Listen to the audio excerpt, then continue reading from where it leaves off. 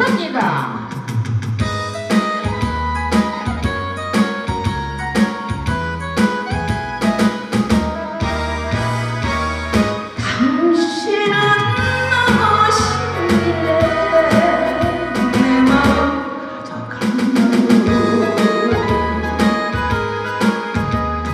당신 때문에 울고 있어요 당신 때문에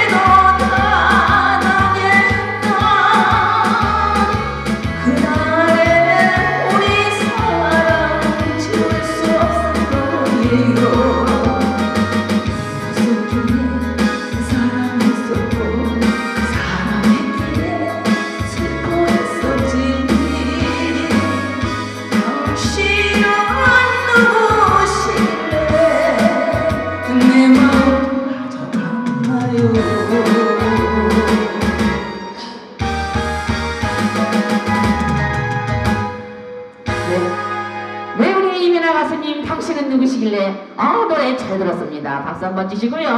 감사드립니다.